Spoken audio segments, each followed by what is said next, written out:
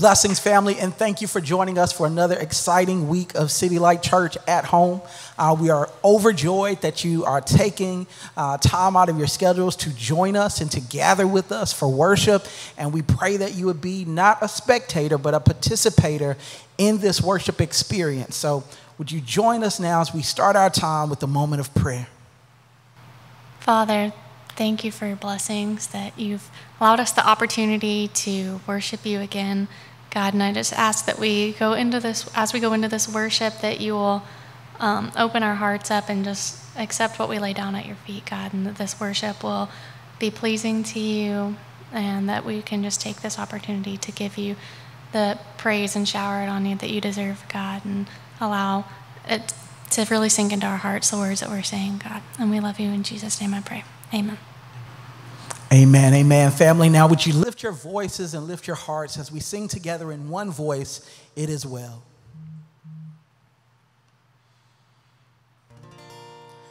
It is well. It is well with my soul. with my soul. It is well.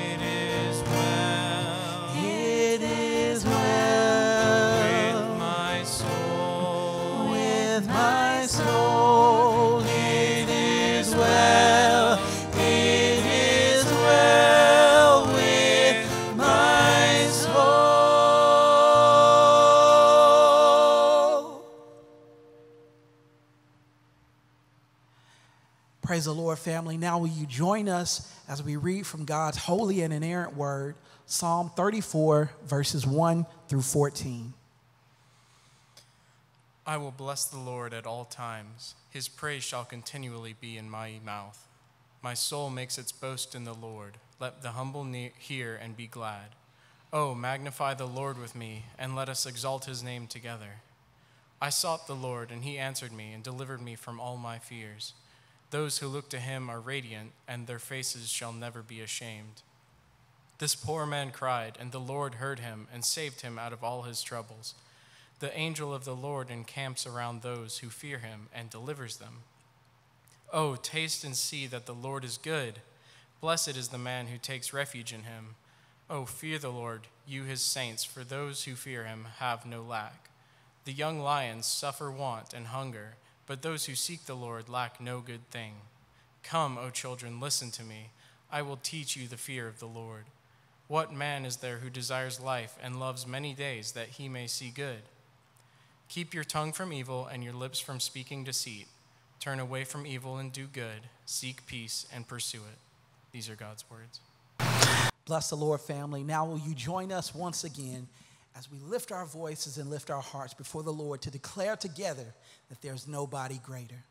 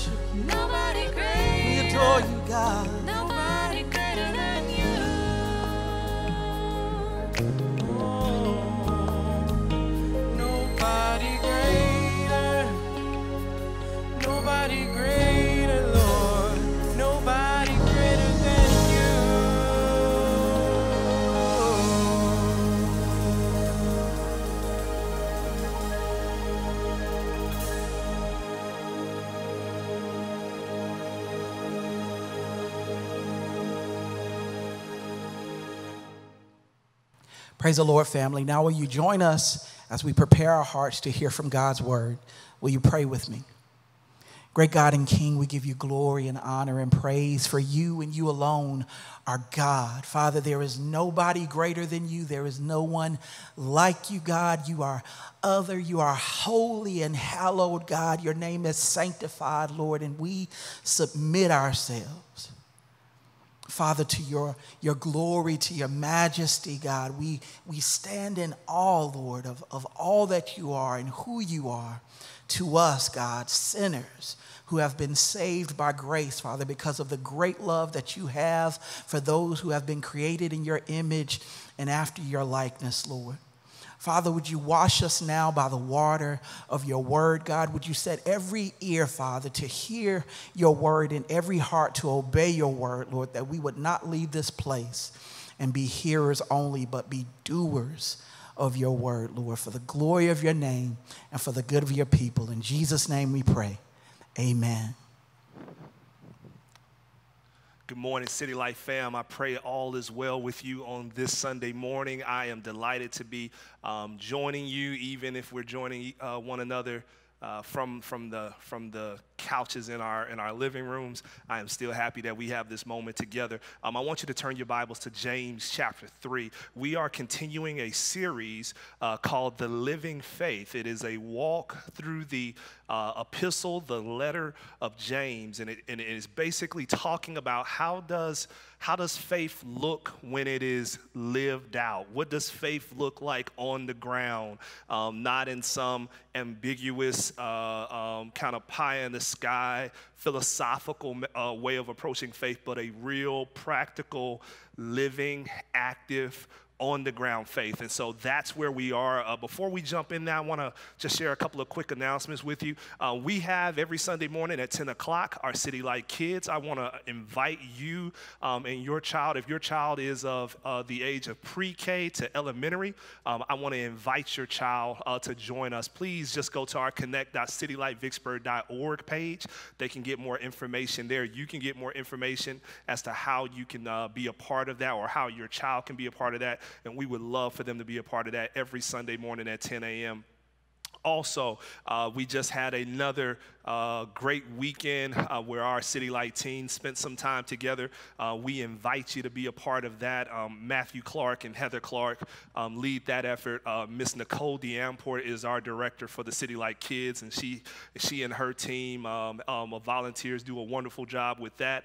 Matt and Heather uh, lead our effort with City Light Teens, and they do a wonderful job with that. we invite you, again, to go to con- our Connect page and you can get more information as to how your teenager can be a part of the, uh, of the, the, gatherings that they have, virtual gatherings right now um, on every other Saturday. And then also, our missional community, we are gathering online through Zoom on Wednesday nights at 6 p.m. Uh, we invite you to be a part of that because we're taking deep dives as we walk through these sermon series. We're then taking a deep dive approach peeling back the layers even more, going to Scripture, seeing, seeing how Scripture speaks to these sermons in deeper ways, uh, seeing what kind of application these sermons have for our day-to-day life, our, our day-to-day lives. And we invite you to be a part of that, where we get together, fellowship, pray together, study together every Wednesday night at 6 p.m. Again, you can go to our Connect page to get more details on that also I want to point you to this book that I have. It's called Missional Communities. It's by Reggie McNeal.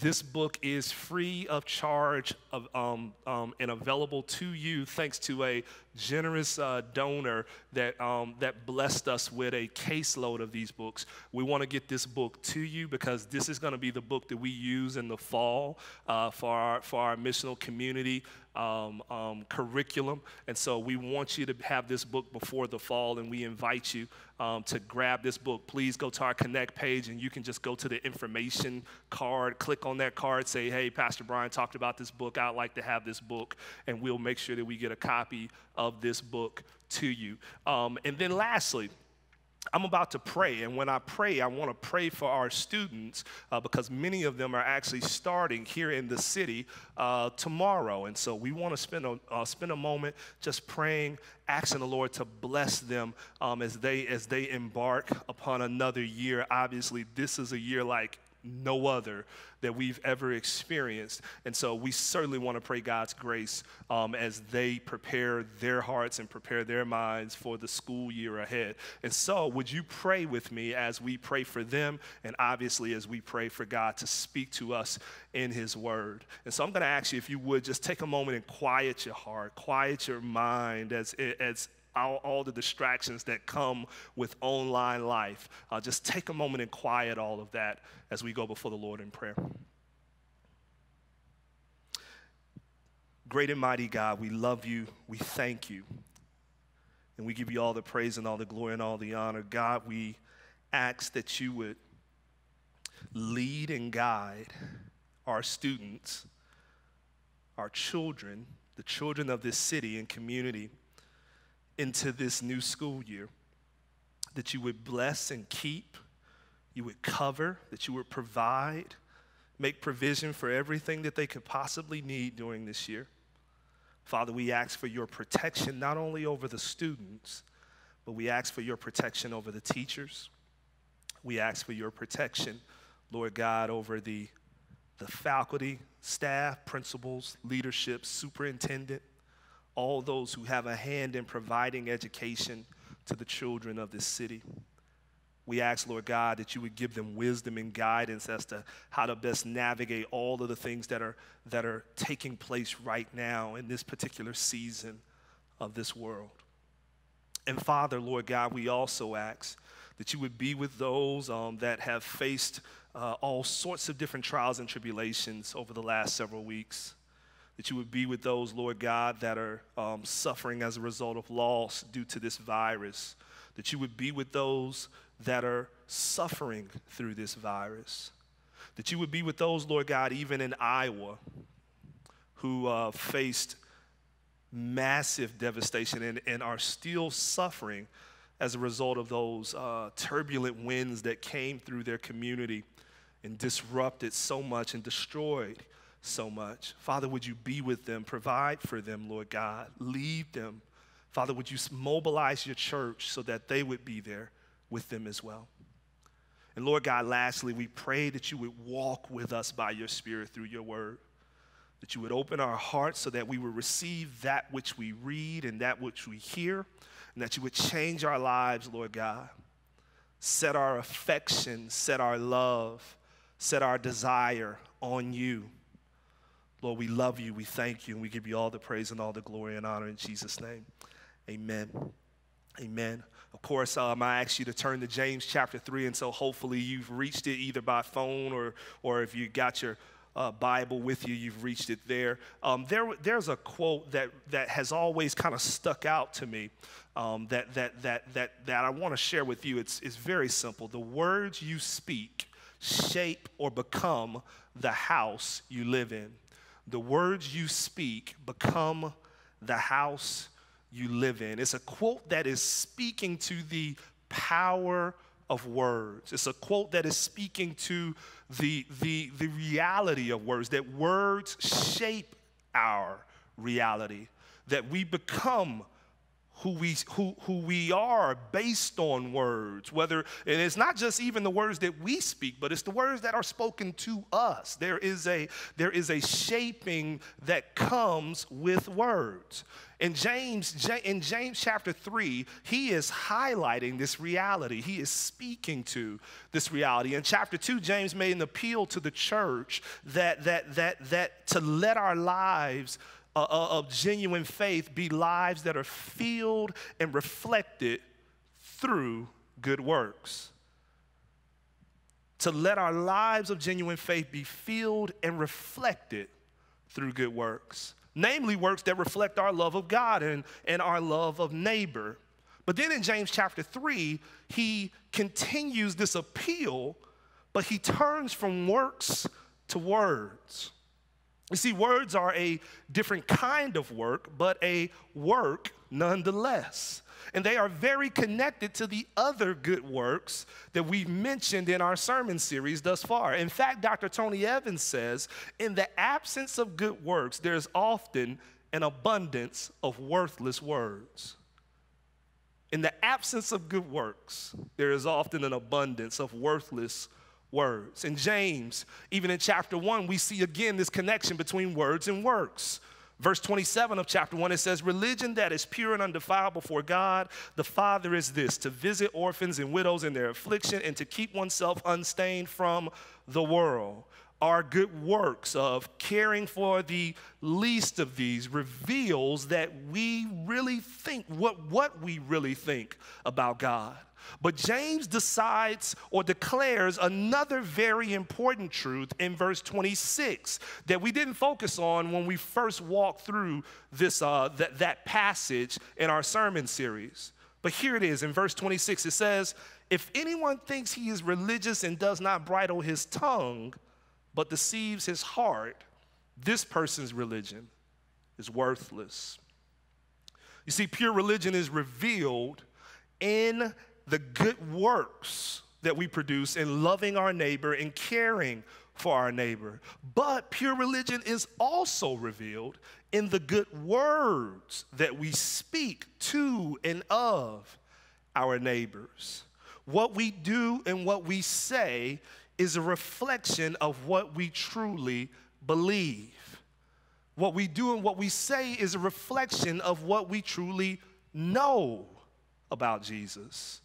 This is a reflection of pure religion. So, James's appeal to using good words in chapter 3 is very much connected to his appeal to doing good works in chapter 2. In chapter 3, James starts with a warning to anyone who might have ambitions to be a Christian teacher. He says in verse 1 Not many of you should become teachers, my brothers, for you know that we who teach will be judged with greater strictness. Teaching the gospel is not for everybody. James doesn't even necessarily wish it on anybody. But the question is why does James offer this warning? Is it because it requires too much time? Is it, require, is it because it requires too much study? While both of these reasons may in fact be true, James isn't highlighting either of them as his reason for declaring what he declares. James instead highlights another very important requirement of a teacher Verse 2 it says, For we all stumble in many ways, and if anyone does not stumble in what he says, he is a perfect man, able also to bridle his whole body. Why does James discourage saints from teaching? Because it requires you to speak more. And thus, it requires great, or it brings greater scrutiny and greater strictness and judgment. Teachers have to speak more, and what we say matters. James is echoing his older brother, Jesus, because in Matthew chapter 12, Jesus says in verse 36 of chapter 12, I tell you on the day of judgment, people will give an account or give account for every careless word they speak. For by your words you will be justified, and by your words you will be condemned hearing these words, those words spoken by Jesus, are in some ways jarring for us as a culture because if you've been on social media for any period of time, you don't have to start following or friending many Christian preachers or teachers before you begin to find or you begin to see that some don't appear to be convinced of these truths spoken by Jesus and spoken by James. Many Bible teachers and preachers will use their online, online profiles to verbally assault, basically, their opponents.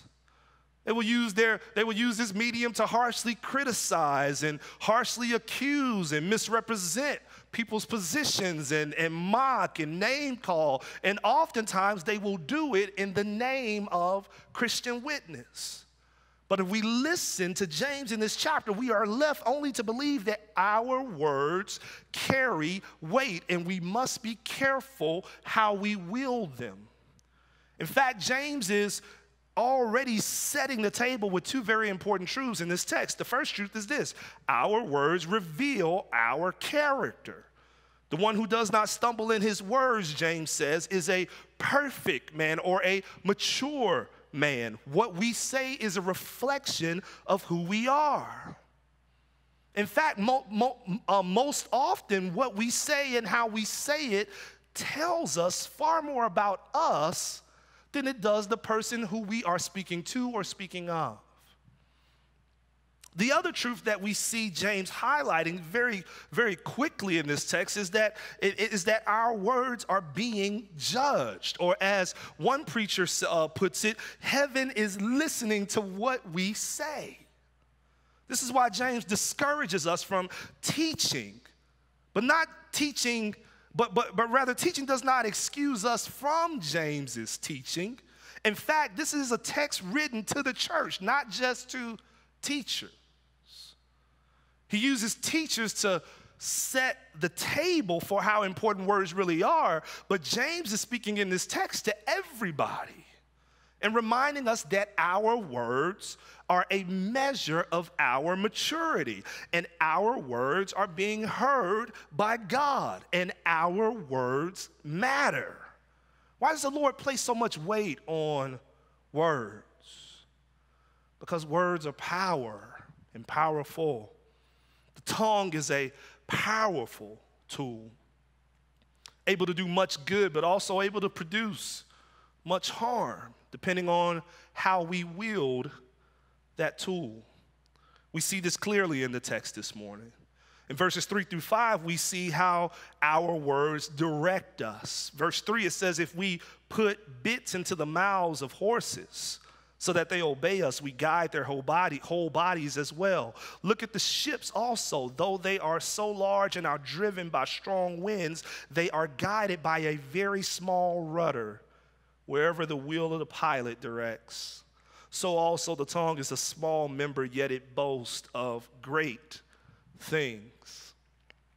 James's point in this verse, in these verses, is simple like the size of, our, of, of the bit in the mouth of the horse or the size of a rudder on a ship. The tongue is not required to be big in order to have a big impact in our lives.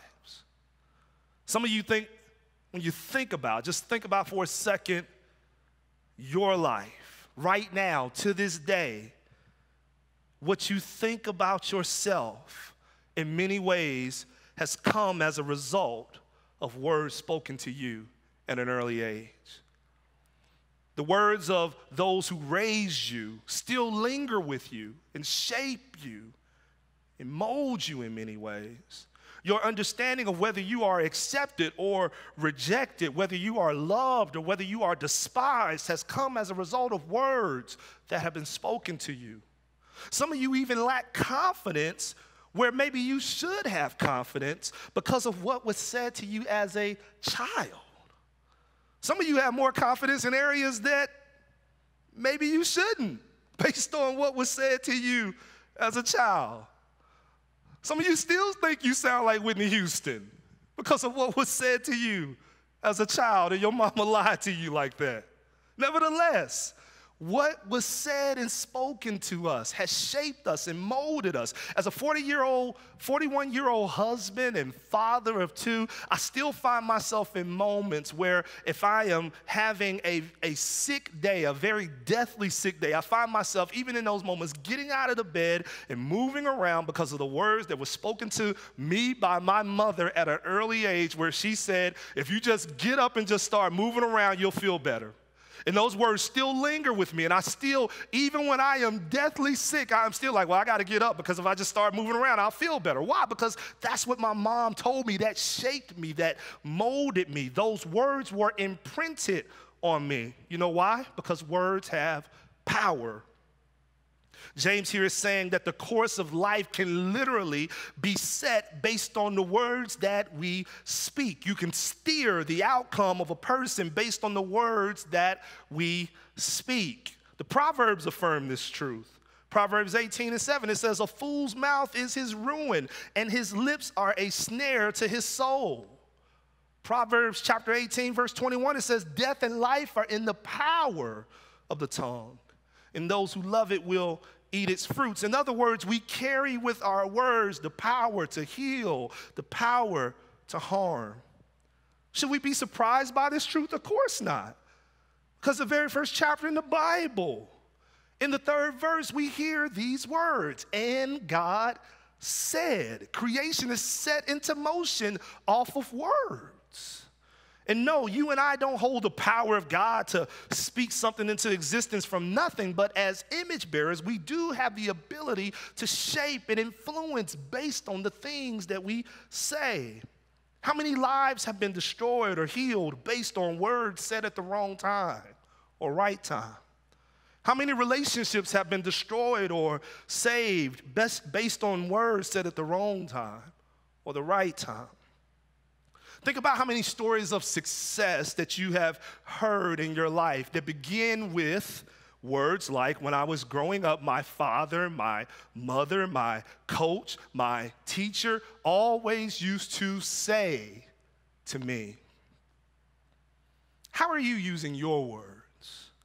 How are you using your words at home? How are you using your words at home to build or destroy? How are you using your words at work to build or destroy? How are you using your words as Christian witness, as a, wit- as a witness to the Christian gospel, the truth, to build or destroy that witness?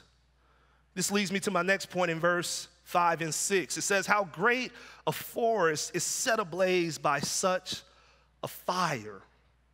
And the tongue is a fire, a world of unrighteousness. The tongue is set among our members, staining the whole body, setting on fire the entire course of life, and set on fire by hell. Our words or our tongue can direct us, but also our words or our tongue can destroy us. Again, James refers to the miniature size of the tongue to make a point about its power. There is a, this is a warning not just simply against how we speak, but it is a warning that it doesn't take much speech to do significant damage. Back in July of 2017, there was a forest fire in South France. This forest fire destroyed close to 2,000 acres of land. And it began on a saturday. It lasted all the way through sunday. There was 800 firefighters that were called on duty over 200 fire trucks that was called out to stop it. Roads were closed as a result of it. Train transportation was delayed as a result of it. Airplanes were deployed to drop um, fire extinguishing substances and gallons of water it was a major effort that caused major damage and cost major dollars. And you want to know what started it? A cigarette butt. One tiny, unextinguished cigarette butt brought massive damage to 2,000 acres of land. 2,000 acres of land, that is 1,500 football fields for my college football starved brothers and sisters out there.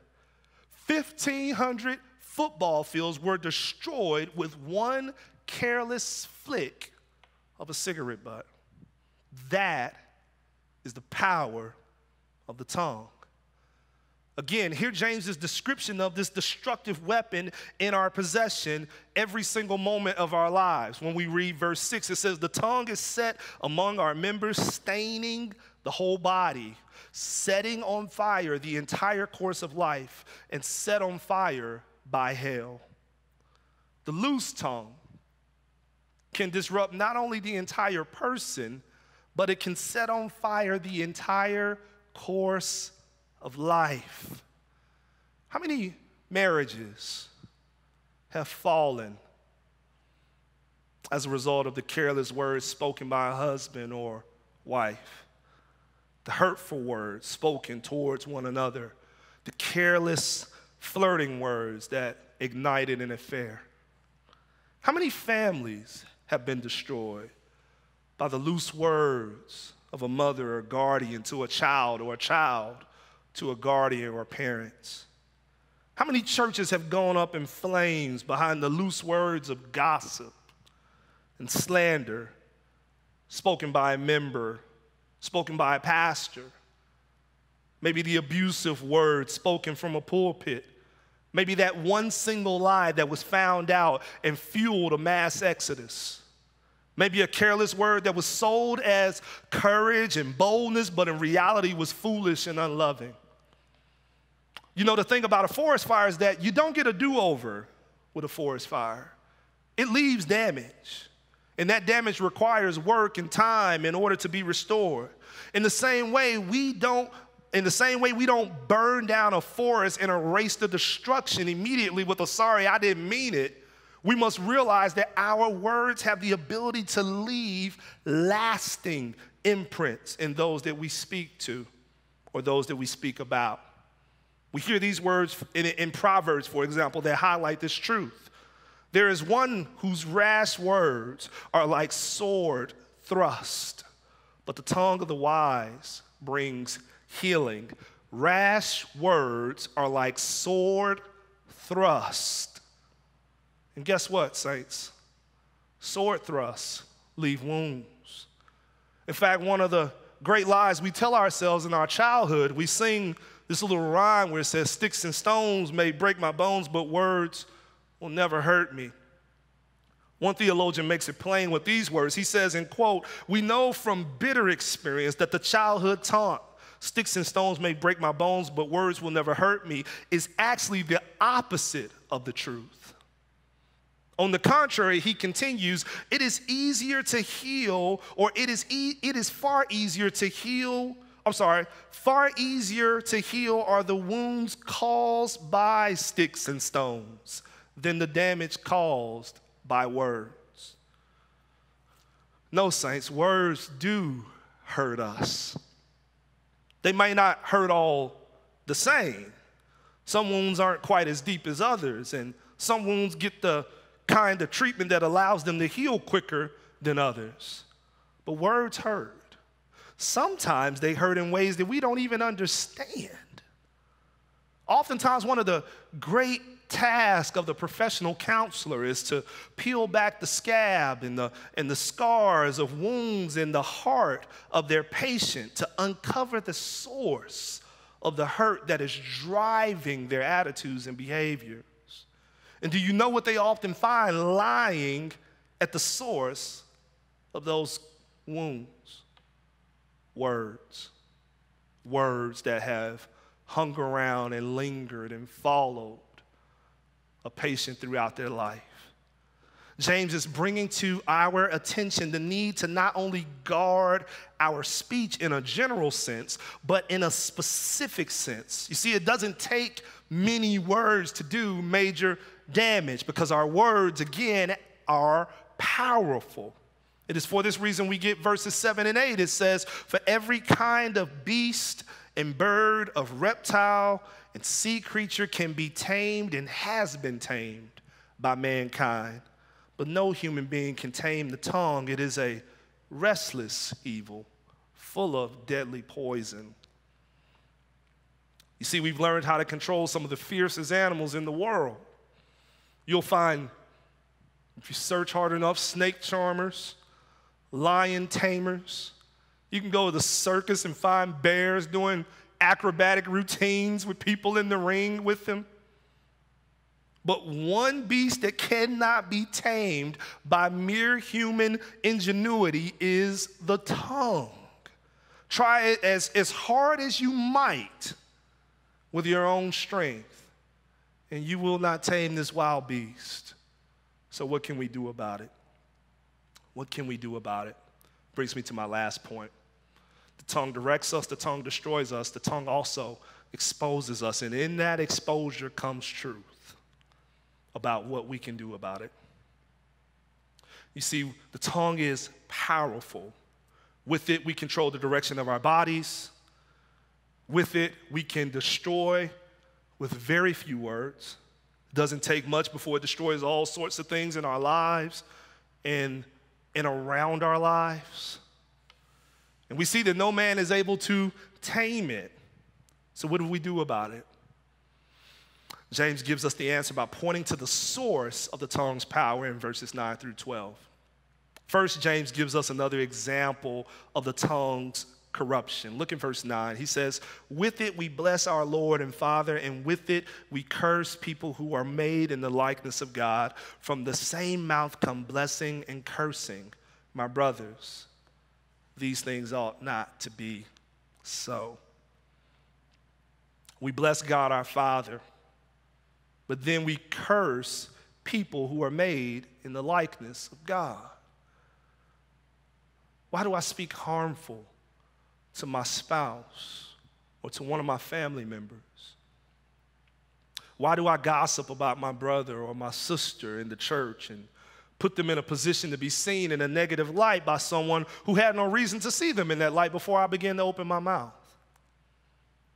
Why do I come within an inch of cursing out the drive through boy or, or drive through woman or drive through man at McDonald's? I could have said Chick fil A, but then y'all would have said that was a fake illustration. So nobody curses anybody out at Chick fil A, of course. So I used McDonald's. Now, if you're cursing people, at Chick- cursing people out at Chick fil A, by the way, we're going to ask you at the end of this morning to send two prayer requests in on the Connect site because obviously you need double prayer if you're, pre- if you're cursing people out on Chick fil A or at Chick fil A. Nevertheless, I digress. Why am I willing to say such harmful things about image bearers? These things ought not be, as James says. But why are they? It can only be for a few reasons. One, I haven't settled the truth in my heart that they are image bearers of God. It's not a truth that is locked in my heart. Somehow, even though God has said it in my heart, I still see them and think of them as less than that. Or maybe it could be that I haven't settled the truth in my heart that God is worthy enough of me treating his image bearers with grace and mercy. In other words, he's good, but he ain't that good. He ain't that good so that these people can talk to me any kind of way. I don't care who he is. They're not going to say anything to me without me saying something back. Or maybe it's I don't trust God enough to obey Him and obey His commandments and rest in however He determines to deal with those situations in which I resist the urge to speak harshly or unlovingly in. Or maybe it could be the worst possible reason I simply don't love God. As the Apostle John says in 1 John 4 and 20, if anyone says, I love God but hates his brother, he is a liar. For he who does not love his brother whom he has seen cannot love God whom he has not seen. Now, it doesn't matter what reason comes, comes out or rises to the top as to, the, as to why you do or why you say what you do. I hope you caught a theme that is recurring through all of those reasons, and it is this that each single reason comes back to the heart. You see, the great secret of the tongue is that its fuel comes from the heart. James gives two examples for this a spring and a tree. Verse 11 Does a spring pour forth from the same opening both fresh and salt water? What does James point to? As the source of the water, the words, he points to the spring. What is the spring? The heart. Verse 12 Can a fig tree, my brothers, bear olives or a grapevine produce figs? Neither can a salt pond yield fresh water. Again, where does James point to in, in, in, he, in, in terms of the source? He's pointing to the tree. And what does the tree represent? Represents the heart. You see, the good heart routinely brings forth good fruit. The good spring routinely brings forth good water. The corrupt heart, however, routinely brings forth corrupt fruit, corrupt speech. So where does gossip come from? It comes from the corruption in our heart, in our hearts. Where does hateful language come from? The corruption in our hearts. Where does envious language come from? The corruption in our hearts. Hypercritical language? Trolling language online? Harsh language, harsh speech on social media? Same place. The corruption in our hearts. You see, oftentimes we'll throw out a careless word. Maybe a careless word about someone or a careless word to someone. And then after that word is thrown out, we'll respond with something like, Man, I need to watch my mouth. But see, actually, there is a more accurate phrase in those moments that we probably should be uttering, and it is this Man, I need to watch my heart. You see, nothing comes forth out of the mouth that the heart hasn't produced, cultivated, and released. This is why our dilemma feels so hopeless. This is why the tongue feels so untamable, because the source of the tongue's fuel, the dilemma, the true dilemma, is our hearts. And even Jeremiah the prophet himself said that our hearts are deceitful above all things and desperately sick. Who can understand it? So, again, what do we do? What do we do? Well, here's what one of the ancient fathers of the faith, St. Augustine, once said that speaks to this text. He says, James does not say that no one can, no one can tame the tongue, but rather no one of men can tame the tongue. So that when it is tamed, we confess that this is brought about by the pity, the help, and the grace of God. Who can tame the tongue? Or, a better question, who can tame the heart? In fact, who doesn't simply just tame the heart, but who gives us, according to the prophets, a new heart? And from that new heart springs new life. And from that new heart springs new words words of healing, words of grace, words of mercy. Who is it that gives us this new heart? Jesus Christ. Jesus Christ. So the secret to taming our tongue is found in the one who has tamed the heart, Jesus. What do we do? What do we do to change our words? What do we do? First, we embrace the newness of life that comes through Jesus Christ. You turn your life over to Christ. You turn from your life of sin. You turn from doing things your way and you turn to trusting Him as Lord and as Savior. The Bible says that everyone who calls upon the name of the Lord shall be saved. But for those of us who have turned and called upon the name of the Lord, what do we do? We meditate on that word. We meditate on his saving work. We remind ourselves that we were destined, once destined for damnation. We remind ourselves that once we had all sorts of names that could label us, that God could label us with children of wrath, sinners, liars, cheaters, fornicators, adulterers, swindlers, self righteous, self inflated, uh, uh, an ad- addicts, junkies. But instead, we through grace, or instead by grace, we have been given a new name and new names because Jesus Christ went to the cross, paid the price for our sin, died the death that we should have died. We now are called children of God, friends of God sons, daughters, royal heirs, because he lived the perfect life that I could never live and died the death that I deserved to die and rose again from the grave on the third day with all power in his hand. He calls me by a new name, righteous. And through prayer and through meditation and through scripture reading, we must rehearse this truth in our hearts daily until it begins to change by God's Spirit how we speak about one another and to one another. Thirdly, we must meditate on the mission.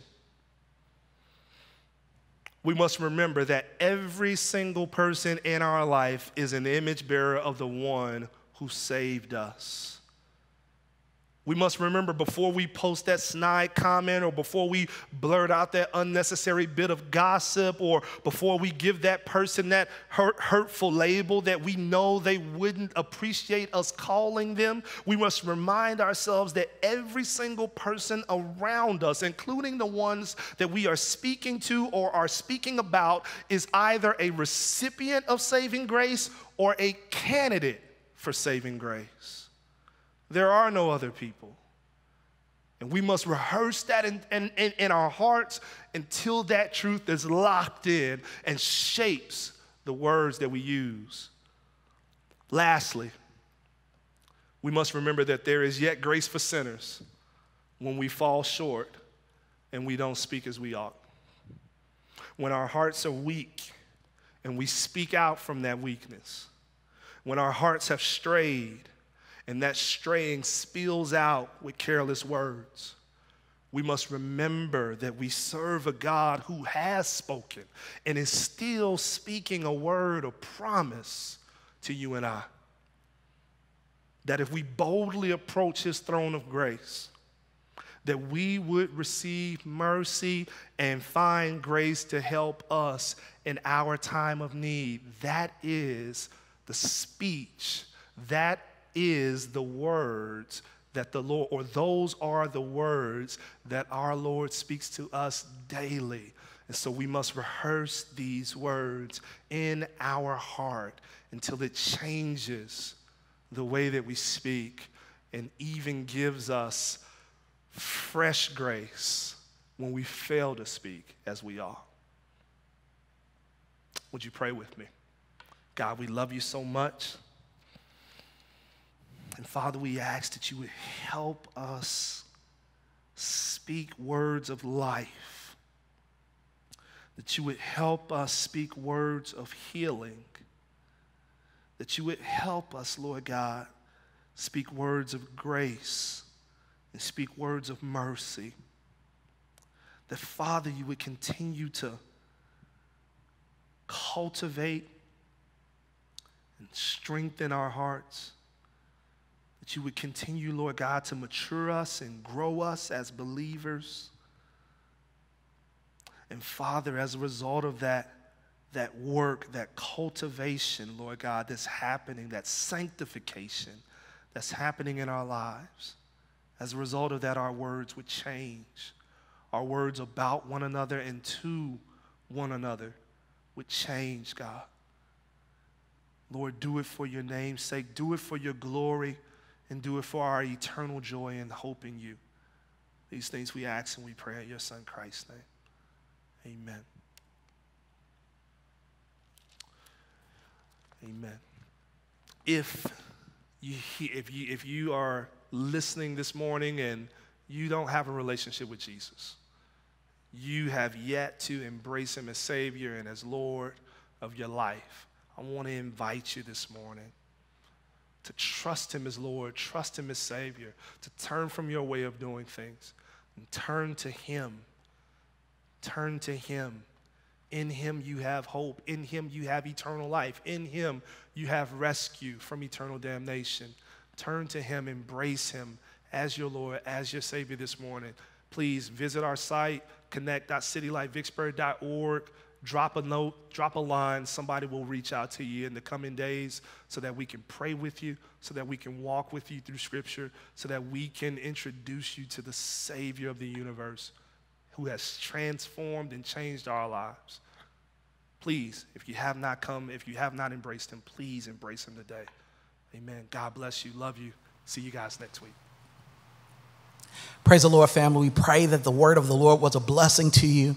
And we invite you to join us now as we sing one last song together, declaring from our hearts and with our mouths, Great are you, Lord.